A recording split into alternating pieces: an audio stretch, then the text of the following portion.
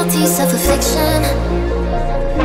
Friends आज हम आम की रिफिलिंग करने जा रहे हैं। हमने इनको नया एक्सटेंशन चार महीने पहले लगाया था। तो चार महीने बाद हम रिफिल क्यों करने जा रहे हैं, ये मैं आपको बताती हूँ। किसी किसी का हम छः महीने के बाद रिफिल करते हैं किसी किसी का हम एक साल के बाद रिफिल करते हैं, और किसी किसी का हमको दो महीने करना पड़ जाता है। वो ऐसा क्यों होता है? मैं आपको बताती हूँ। मैम का चार महीने में आप देख सकते हो की ग्रोथ बढ़ के यहाँ आ गई है। तो जैसे जैसे हमारे रियल बालों की ग्रोथ होती है तो ये आपस में उलझना शुरू हो जाते हैं। जब ये उलझना शुरू हो जाते हैं तो फिर इनको उलझाना बहुत ही मुश्किल होता है। अगर मैम एक महीना और लेट कर देती तो इनके अपने सारे बाल उलझ जाते फिर रियल बाल जो है, वो डैमेज होते इसलिए हमें देखना पड़ता है कि बाल उलझे हैं या सुलझे हुए हैं। अगर मैम के बाल एकदम सुलझे होते, कुछ भी टैंगल नहीं होता तो हम इसको एक महीना, दो महीने और छोड़ देते।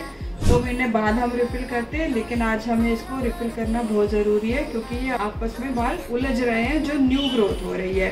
अगर आज हम इनका रिफिल कर देंगे तो रियल हेयर बिल्कुल भी डैमेज नहीं होगा।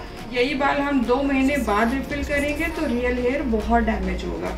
इसलिए डिपेंड करता है कि बाल उलझे हैं कि बाल नहीं उलझे। किसी किसी के एक साल के बाद भी बाल बिल्कुल नहीं उलझते। एक एक एक्सटेंशन अलग अलग होता है। तो हमको एक साल तक रिफिल नहीं करना पड़ता है। किसी किसी क्लाइंट का दो महीने में ही बाल आपस में उलझ जाता है।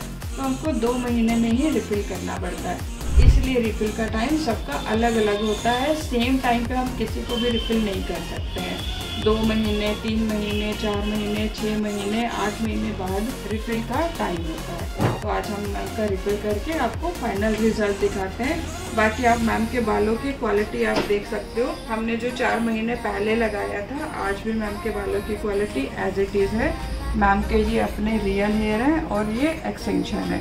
तो फ्रेंड्स हमारी रिफलिंग डन हो चुकी है। आपने मैम के बिफोर बाल भी देखे थे। एक्सटेंशन बढ़ के कितना नीचे आ चुका था। हमने एक्सटेंशन को निकाला, उसको रिफ्रेश किया, फिर मैम के आज रिफिल की है। एक्चुअली क्या होता है? एक्सटेंशन बढ़ के नीचे आता है।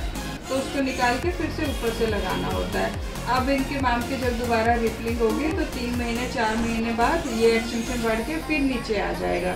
अगर बाल उलझे होंगे तो हमको फिर रिफिल करनी पड़ेगी। अगर नहीं उलझे होंगे तो हम छः महीने का, के टाइम के बाद भी रिफिल कर सकते थैंक यू